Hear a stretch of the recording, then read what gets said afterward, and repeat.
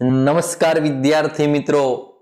ફરી એકવાર ધોરણ નવ અને ધોરણ દસ ના એકમો ને પૂર્ણ કર્યા બાદ આજે ફરી ધોરણ બારનો એક નવ એકમની શરૂઆત કરવા જઈ રહ્યો છું. અરજી લેખન, અહેવાલ લેખન અને નિપાત અને ક્રિયા વિશેષણના બારમા ધોરણના જે એકમો હતા, એના વીડિયો બનાવ્યા બાદ આજે એક નવા કાવ્ય સાથે અહીંયા ઉપસ્થિત થયો છું. મિત્રો, શ્રી ખેડ માધ્યમિક શાળા ખેડ તાલુકો હિંમતનગર જિલ્લા સાબરકાંઠામાંથી આ હસમુખ પટેલના આત્મભાવે રામ રામ. મિત્રો, વિષય છે ગુજરાતી. ધોરણ બારની અંદર આવે છે એક સરસ મજાનું કાવ્ય, જેનું નામ છે રામ બાણ. એનો સાહિત્ય પ્રકાર છે પદ, અથવા તો એને ભજન કહી શકાય. એના કવિનું નામ હશે ધના ભગત.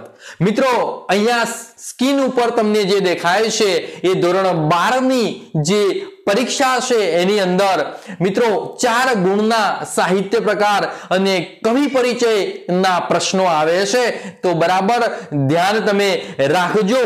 સૌપ્રથમ કાવ્યની શરૂઆત કરતા પહેલા અહીંયા આજે હું તમને એ એના જે કવિ છે, એ કવિની ચર્ચા કરવા જઈ રહ્યો છું. કવિની સાથે સાથે રામવાણ જેને જેને વાગ્યા છે, એની કથા સ્વરૂપે, કથાની સાથે સાથે કાવ્યનો જે રસાસ્વાદ છે, એની આજે વાત કરવાનો છું. તો ચાલો મિત્રો, આ રામબાણ જે કવિએ ભજન આપ્યું છે, એ કવિનો જે પરિચય છે, એ પરિચય ટૂંકમાં આપણે કેળવી લઈએ. આપણે જાણીએ છીએ પ્રમાણે અહીંયા તમે જોઈ શકો છો કે ધના ભગત એમનું આમ તો નામ છે અઢારમા શતકની અંદર આ થઈ ગયા છે.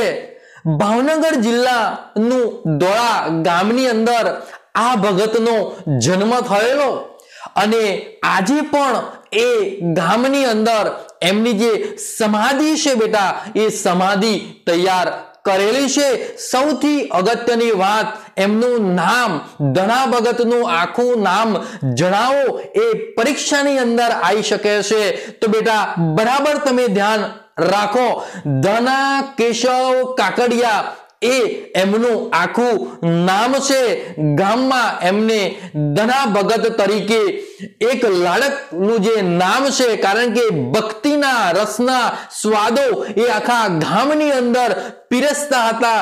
જેના કારણે ગામની અંદર એમને ધના ભગત એવું નામ પણ આપવામાં આવ્યું હતું. મિત્રો, એમના જીવન વિશે ખૂબ જ ઓછી માહિતી આપણને સાંપડી છે. તો આટલી માહિતી આપણા પરીક્ષા માટે ખૂબ ઉપયોગી છે. એમનું જે અવસાન છે, એ અવસાન ઈસવીસન સત્તરસો પંચોતેરની અંદર થયેલું. ત્યાં સુધીની માહિતી છે. હવે આપણે એમને જે પદ અને જેને ભજન કહેવાય છે, જેને પદ કહેવાય છે, એ પદની અંદર જે સરસ મજાના એ ઉદાહરણો દ્વારા, દ્રષ્ટાંતો દ્વારા જે પ્રભુ ભક્તિની જે વાતો છે, એ વાતો આપણે આ કાવ્યના રસા સ્વાદ દ્વારા આપણે નિરખવાનો પ્રયત્ન કરીએ. તો સૌપ્રથમ એની આ પંક્તિ આપણે જોઈએ. તો પ્રથમ પંક્તિની અંદર આપણને કહેવામાં આવ્યું છે કે રામબાણ વાગ્યા હોય તે જાણે. એનો રાગ આખો ગાતો નથી, પણ તમને કહું કે રામબાણ વાગ્યા હોય તે જાણે. પ્રભુના બાણ વાગ્યા હોય તે જાણે. ઓલા મૂરખ મન માશુઆને ઓ રામ બાણ વાગ્યા હોય તે જાણે. તો મિત્રો, જેને રામનું બાણ વાગ્યું હોય અને કહેવાય છે, તમે ફોટોગ્રાફ્સની અંદર આ રામ એ ધનુષ્ય લઈને ઊભા છે અને આપણને સર્વને ધ્યાન છે કે રામનું જ્યારે બાણ છૂટે ને, બાણ આવી રીતે છૂટે ને, ત્યારે એમનું જે નિશાન છે એ ક્યારે પણ અવ્યર્થ જતું નથી. એના માધ્યમ દ્વારા ધના ભગતે શબ્દો આપણને આપ્યા છે કે રામ બાણ વાગ્યા હોય તે જાણે રામનું જે બાણ છે ને, એ બાણ વાગ્યું હોય એટલે અહીંયા ભક્તિના બાણની વાત કરવામાં આવી છે. ઈશ્વરની ભક્તિના બાણ જેને વાગ્યા હોય, ભગવાનની ભક્તિના બાણ જેને વાગ્યા હોય, એ જાણે પ્રભુના બાણ વાગ્યા હોય તે જાણે બે બાણોની વાત છે મિત્રો. અહીંયા પ્રભુના બાણની વાત પણ કરવામાં આવી છે અને રામના બાણની વાત પણ કરવામાં આવી છે. પ્રભુનું બાણ એટલે કે બેટા પ્રભુની ભક્તિનું જે બાણ છે, એ બાણ જો કોઈને લાગી જાય ને, તો એ ક્યારે પણ એ પોતે પોતાના અંદર મનમાં એ પોતે ખોવાઈ જાય છે. એમ રામબાણ એટલે બેટા ક્યારે પણ નિષ્ફળ ન જાય એવું રામરૂપી બાણ એટલે ભક્તિના બાણની વાત કરે છે.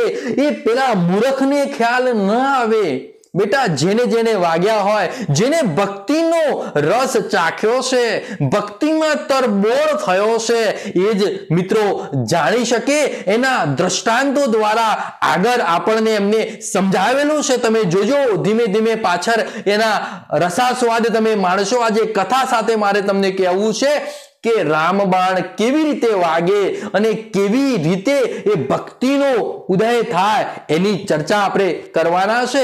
એટલે મિત્રો, કવિ કહેશે કે પેલા મૂરખ, બેટા મૂરખ એટલે મૂરખ એટલે અહીંયા ઓલ્યા એટલે પેલો અને મૂરખ શબ્દ એટલે ગમાર, જે ગાંડો હોય, જે પામર હોય, કારણ કે બારમા ધોરણની અંદર સમાનાર્થી શબ્દ તરીકે પૂછાય છે કે મૂરખ તો તમારે શોધવાના હોય છે ગમાર અને પામર. તો બેટા, એ પણ તમે અહીંયા અપરિચિત શબ્દો છે, વ્યાકરણગત શબ્દો છે, એનું પણ આપણે ધ્યાન રાખતા રાખતા જવાનું છે. તો આ જે પ્રભુ ભક્તિના જેને બાણ વાગ્યા છે, એ બાણ જેને વાગ્યા હોય બેટા, એ જાણી શકે આ મૂર્ખ મૂરખ શું જાણે? ગમાર માણસ શું જાણે કે ભક્તિનો રસ સેવો છે? ભક્તિનો રસાસ્વાદ કેવા પ્રકારનો છે? એ કોણ જાણી શકે? એટલે કવિ આ પંક્તિની અંદર કહેશે કે જેને રામબાણ વાગ્યા હોય ને બેટા, એ જ આ ભક્તિનો રસાસ્વાદ એ માણી શકે. આગળની પંક્તિની અંદર ઉદાહરણ સાથે આપણને સમજાવવામાં આવ્યું છે કવિ કહે છે કે ધ્રુવને લાગ્યા પ્રહલાદને લાગ્યા. મિત્રો ધ્રુવને સૌપ્રથમ આ બાણ વાગ્યા હતા. મિત્રો, ધ્રુવ વિશે તમે અપરિચિત હશો. ધ્રુવનું નામ તમે સાંભળ્યું હશે. ધ્રુવ તારાનું નામ તમે સાંભળ્યું હશે. મિત્રો, આ ધ્રુવને છે ને એ રામ બાણ વાગ્યા હતા. ઉતાનપાદ નામનો જે રાજા હતો, એ રાજાને બે રાણીઓ હતી. એમાં એક રાણીનું નામ હતું સુરુચિ અને બીજું નામ હતું સુનીતા. બરાબર? સૌપ્રથમ સુનિતા સાથે એમને લગ્ન કર્યા હતા. ત્યાર પછી રૂપ અંબર એવી જે સુરુચિ છે, એ સુરુચિ સાથે પણ એમને લગ્ન કરેલા હતા.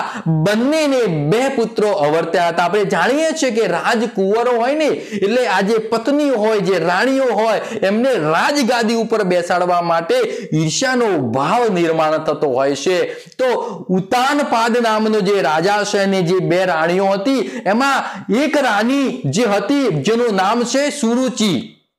બરાબર? તો આ જે સુરુચિ છે, એને પણ એક પુત્ર હતો અને સુનીતિ, બરાબર? એને પણ એક પુત્ર હતો. પરંતુ સુરુચિના કારણે આજે આ જે રાણી છે સુનીતા. એ સુનીતા રાજપાટ છોડી અને બાજુમાં આશ્રમમાં રહેવા ગઈ હતી અને એના કુકે ધ્રુવનો જન્મ થયો હતો. કોનો જન્મ થયો હતો બેટા?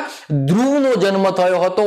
ધ્રુવ એ ઋષિઓ જોડે રહ્યો છે, જેના કારણે ભક્તિનો જે ભક્તિનો જે ભાવ છે એ અત્યંત એની અંદર રહેલો છે. એકવાર ધ્રુવ મોટો થયા પછી પોતાના પિતાને મળવા એના સાથીઓ સાથે રાજમહેલમાં આવે છે.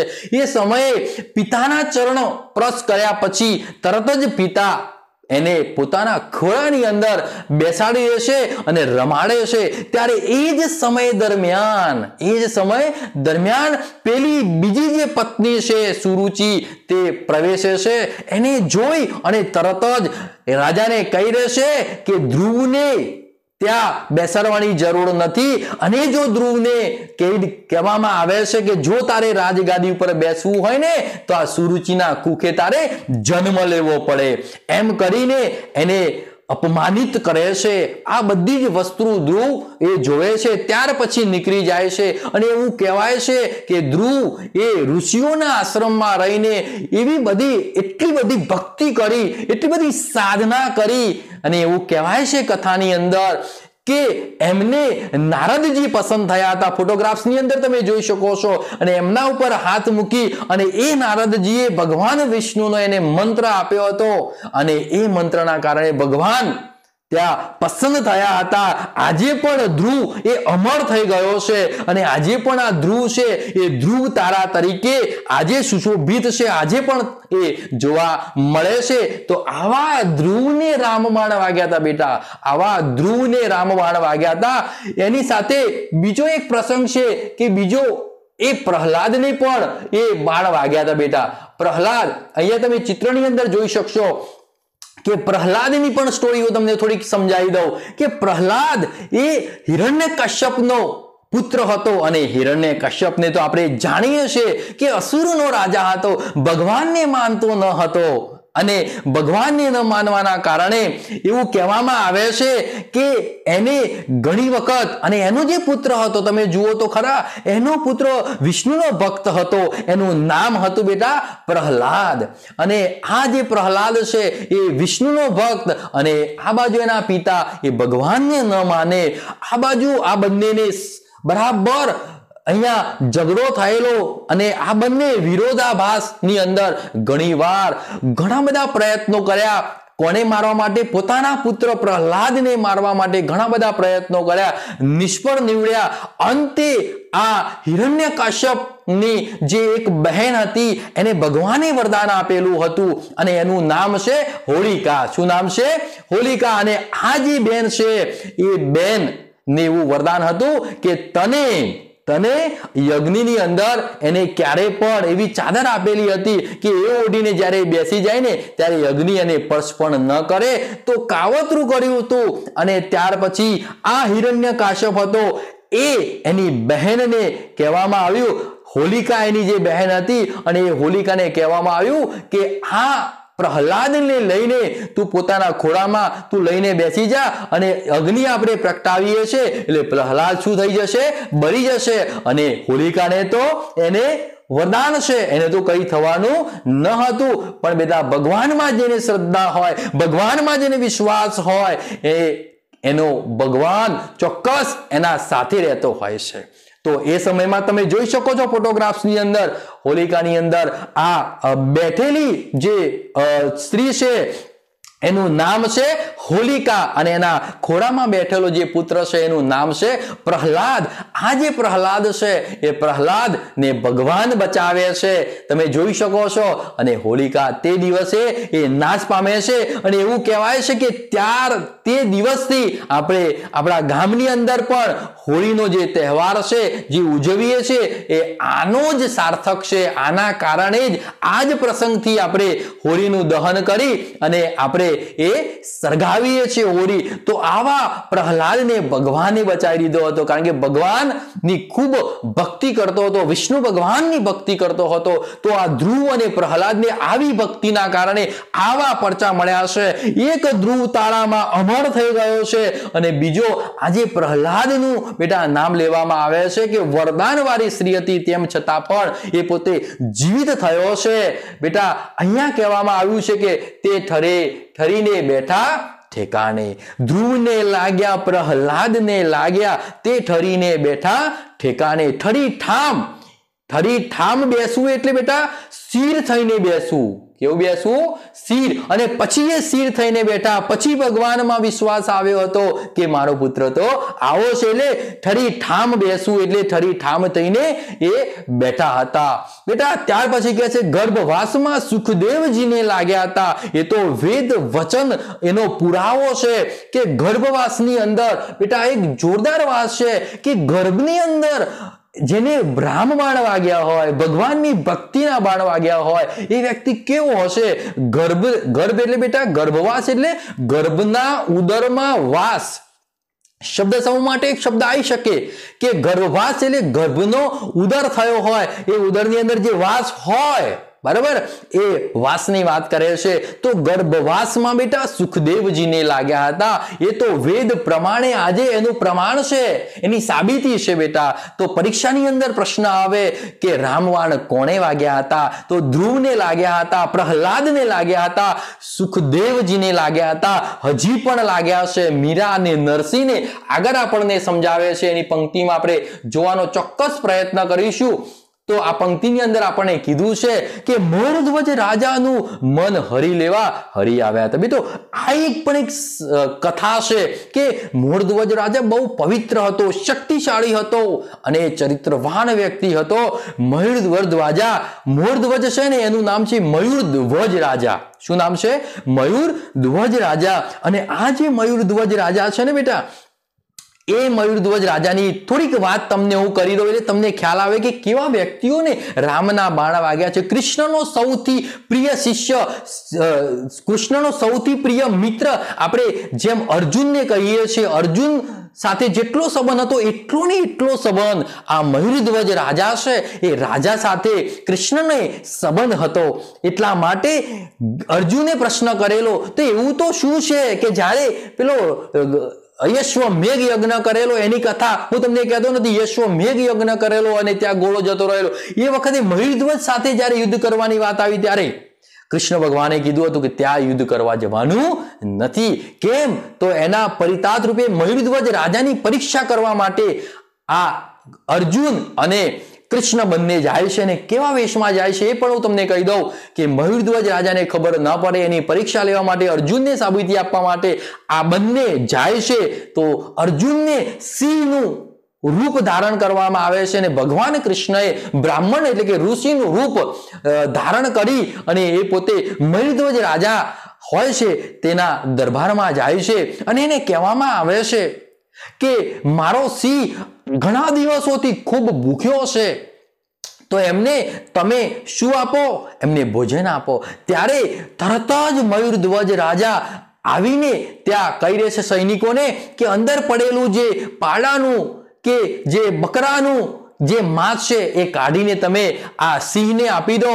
તરત જ પેલા ભગવાન એ સાધુના વેશમાં આવેલા બ્રાહ્મણના વેશમાં આવી અને એમને તરત જ કહી દીધું કે હે મયુરધ્વજ રાજા ક્ષમા કરજો. તમે મારા સિંહને કેવો ગણ્યો છે? એમની પરીક્ષા લે ને? મારા સિંહને કેવો ગણ્યો છે કે આવું બધું માંસ ખાશે? મારો સિંહ એ પવિત્ર છે અને એ જે છે ને, એ કેવા પ્રકારનું માંસ ખાય છે? એ હંમેશા માણસનું જ માંસ ખાય છે અને માણસની અંદર પણ એ જમણા અંગનું જે માંસ છે, એ જ ખાય છે. એટલે મારા સિંહ માટે તમારા દીકરા નું, એ માસ છે એ જમણા હાથ અમને તમે આપી દો.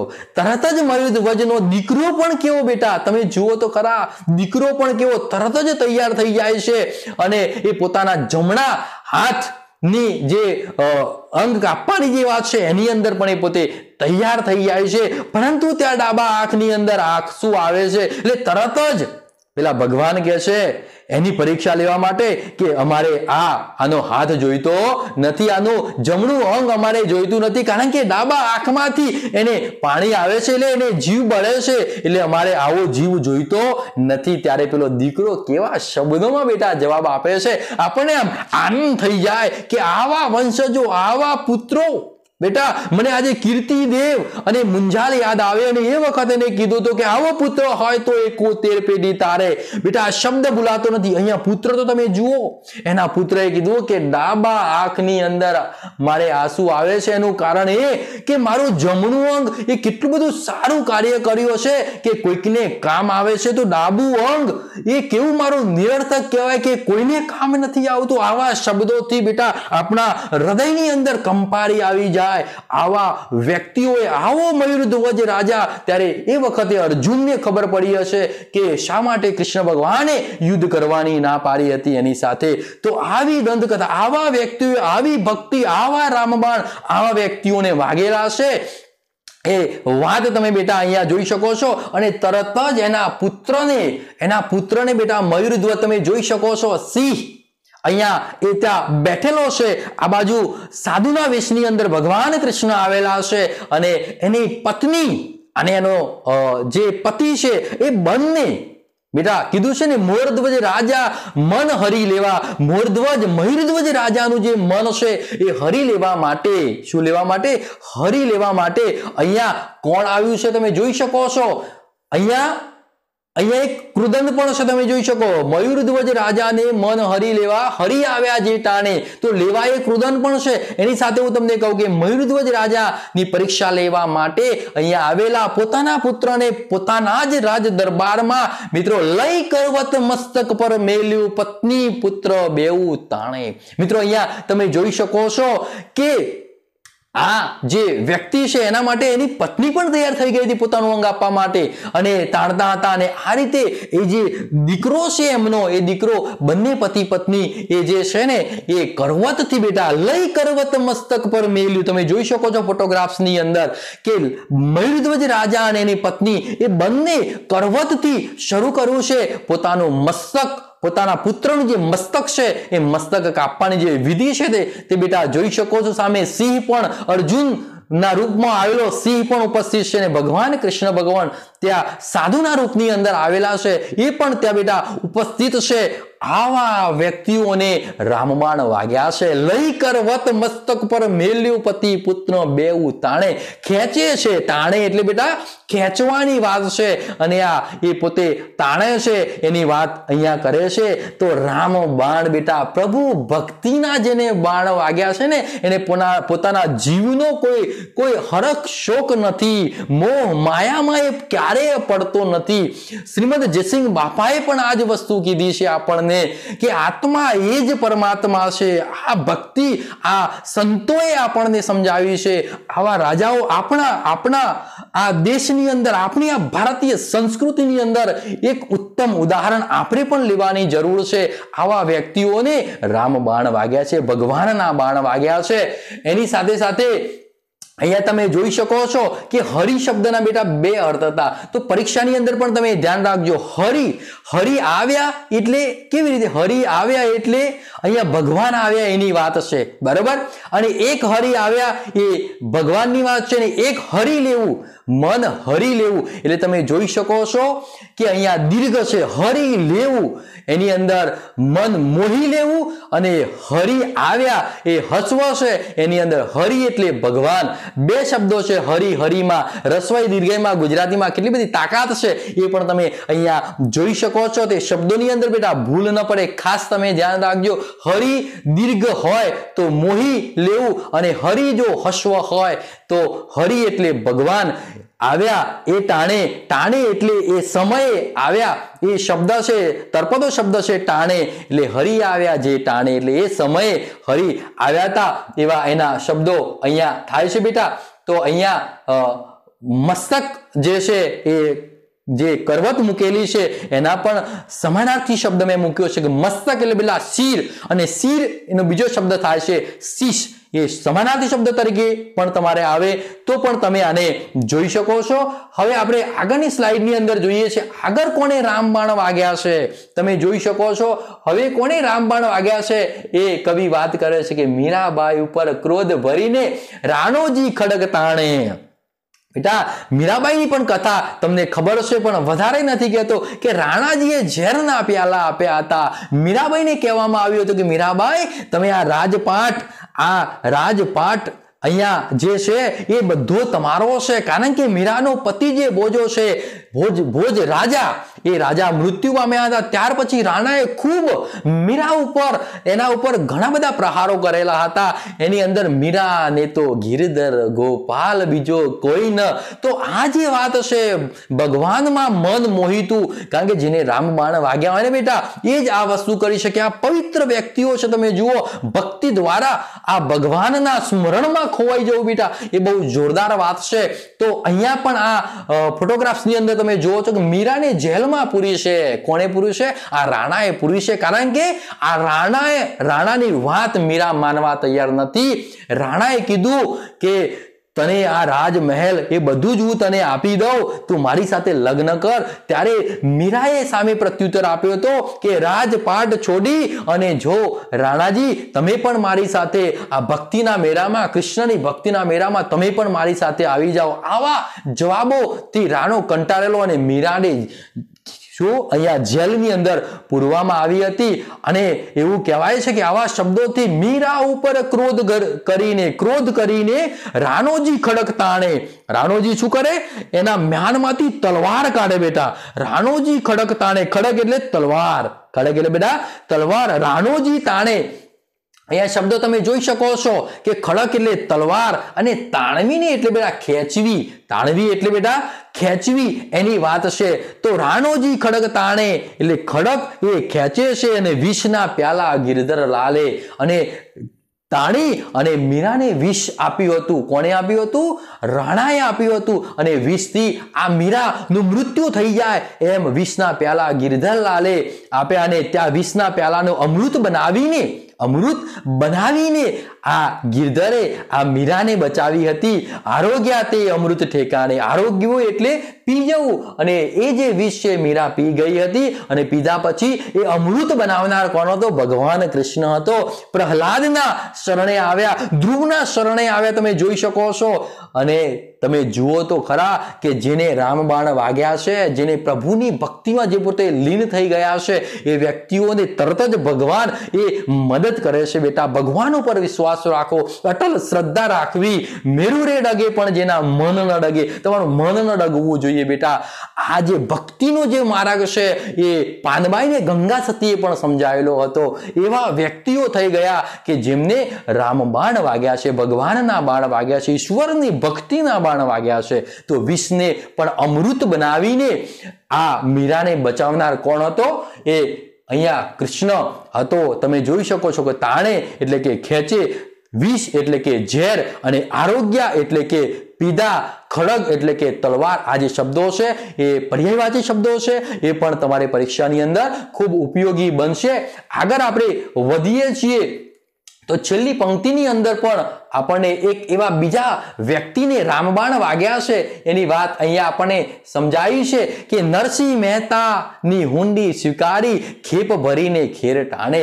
નરસિંહ મહેતાની વાત તો બેટા આપણે જાણીએ છીએ નરસિંહને તો જાણીએ છીએ કે નરસિંહ મહેતા એ પોતે પોતાના ગામમાં રહીને જે હુંડી લખતા હતા એ હુંડી કોણ સ્વીકારતું હતું? શામળ શાહ શેઠ આવીને ભગવાન કૃષ્ણ આવીને એ ભગવાન, એ આ ભક્તોના જે પ્રચાર છે ભક્તોની જે ભક્તિ છે, એની જે લીલા છે, એ લીલા આ ભગવાને ત્યાં આવીને શામળ શાહ શેઠ બનીને એ હુંડી સ્વીકારેલી હતી. હુંડી એટલે બેટા તમને ખબર હશે મારી હુંડી સ્વીકારો મહારાજ રે, શામરા ગીરદારી.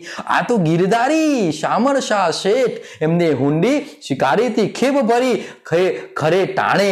બેટા, આ જે પ્રભુના બાણ આ નરસિંહને વાગ્યા હતા, રાસલીલા જોવા ગયેલા અને હાથ બળતો બળતો આવી ગયેલો. એ એમને ખબર ના હતી. ભક્તિમાં લીન હતા ને, ભગવાનના બાણ વાગ્યા હતા. અને ભગવાનના બાણના જે પરચા છે ને, એ નરસિંહે તો હાર હુંડી, મામેરું, શ્રાદ્ધ, આ પાંચ દંત કથાઓથી પ્રચલિત કરેલા છે કે ભગવાને કેવી રીતે મદદ કરેલી છે. તો રામબાણ એ નરસિંહ મહેતાને પણ વાગ્યા હતા અને હુંડી એટલે નાણાંની આપલે માટેની એક ચિઠ્ઠી એ શબ્દ સમૂહ માટે એક શબ્દ આવે તો ભગવાને એ શામળશાહ શેઠ બનીને એ સ્વીકાર્યું હતું. તો અહીંયા તમે જોઈ શકો છો, ખેપ ભરીને ખેર ટાણે. આ શબ્દો છે, અહીંયા ખરે ટાણે એટલે કે યોગ્ય સમયે. ખરે ટાણે એટલે બેટા, યોગ્ય સમયે આ જે આ જે હું વાત કરી રહ્યો છું એ હુંડી સ્વીકારી હતી. આગળ સંત અનેક ઓધાર્યા એવું ધનો ભગત ઉર આંગણે પોતાના ઉર ઉર એટલે હૃદયની અંદર કે આગળ તો આવા કેટલાય સંતોને ઓધાર્યા છે. શું કરેલા છે? બેટા, આગળ ઘણાય જે સંતો છે એમને વધાર્યા છે એટલે કે વધારવું એટલે કે ઉદ્ધાર કર્યા છે ભગવાને. એના, એની જો લિસ્ટ કરવા જઈએ તો ઘણા બધા છે, પણ નામના પાત્ર જેને રામબાણ વાગ્યા હતા એની વાત અહીંયા કવિએ આપણને કરી છે, તો અહીંયા જે આ કાવ્ય છે એ પૂર્ણ થાય છે. પૂર્ણ થતા હું તમને થોડુંક મૂલ્યાંકનની વાત કરું પરીક્ષાની અંદર. તમારે મૂલ્યાંકન આવે છે, તો એની બેટા પહેલો પ્રશ્ન તમારે આ રીતે આવી શકે કે રામબાણ કાવ્યના કવિનું નામ તમારે જણાવવાનું છે. તો તમે જાણો છો કે ધના ભગત એ રામબાણ કાવ્યના કવિનું નામ છે. બીજો પ્રશ્ન આવી રીતે તમારી પરીક્ષાની અંદર આવી શકે છે કે રામબાણ કાવ્યનો સાહિત્ય પ્રકાર જણાવો. તો તમને ખબર છે, બે વસ્તુ મેં તમને કીધી હતી કે પદ અથવા ભજન બંને વસ્તુ તમે એ લઈ શકો છો. ત્યાર પછી અહીંયા ત્રીજી વસ્તુ આપણને આપી છે, તો ત્રીજો પ્રશ્ન પણ તમે અહીંયા જોઈ શકો છો. આ અહીંયા તમે જુઓ, ત્રીજા પ્રશ્નની અંદર આપણને બતાવ્યું છે કે ત્રીજો પ્રશ્ન જે છે એ કવિએ આપણને અહીંયા શબ્દરૂપે બતાવ્યો છે. તો આ જે બે પ્રશ્નો છે, એ બે પ્રશ્નો પૂર્ણ થયા પછી ત્રીજો પ્રશ્ન કે રામ શબ્દનો અર્થ તમારે જણાવવાનો છે કે રામબાણ એટલે શું? તો બેટા તમે પરીક્ષામાં લખી શકો કે રામબાણ એટલે કે પ્રભુ ભક્તિનું બાણ. કોનું બાણ? પ્રભુ ભક્તિનું બાણ. ત્યાર પછી રામબાણ પદમાં રામબાણ કોને કોને વાગ્યા હતા? એ ખાસ અગત્યનો પ્રશ્ન છે. લાંબો પ્રશ્ન પણ પૂછાઈ શકે છે. તો ખાસ તમે યાદ રાખજો, ધ્રુવ પ્રહલાદ સુખદેવ મીરા નરસિંહને વાગ્યા હતા. કોને વાગ્યા હતા? આ વ્યક્તિઓને શું વાગ્યું હતું બેટા? રામબાણ વાગ્યા હતા. અહીંયા મોરધ્વજ રાજાનું મન હરી લેવા હરી આવ્યા. એ ટાણે કૃદંત શોધો, તમારે કૃદંત શોધવાનું આવે છે અને કૃદંતનો પ્રકાર પણ લખવાનો આવે છે. તો આ રીતે ચાર ઓપ્શનમાંથી કયું કૃદંત હશે એ તમારે મને કોમેન્ટની અંદર લખવાનો છે. એનો જવાબ હું તમને આપતો નથી. તો એ કોમેન્ટમાં તમારે લખવાનો છે.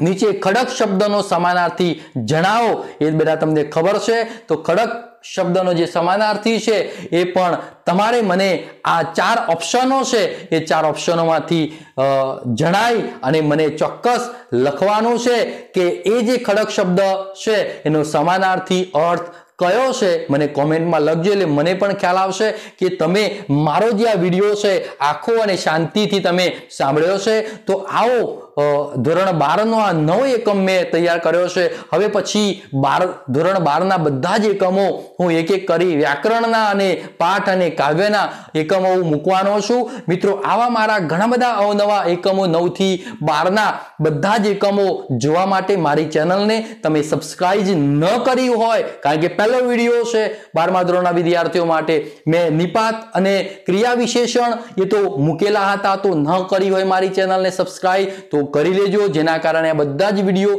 તમને જોવા મળે અને આ હોમ લર્નિંગ અંતર્ગત આજે જ્યારે શાળાઓ બનશે, ત્યારે અમારા તરફથી એક નાનો એક પ્રયાસ અમે કરવાનો પ્રયત્ન કરીએ છીએ. પણ બેટા, જેટલો સપોર્ટ તમારો હશે, એટલો અમને વધારે આનંદ થશે. તો આ જે મૂલ્યાંકન છે અને જે મેં સ્લાઇડોની અંદર જે સમાનાર્થી શબ્દોને બધું લખ્યું છે, એ તમે તમારી નોટમાં ઉતારી અને મારા ફોટોગ્રાફ્સ તમે ચોક્કસ મોકલજો.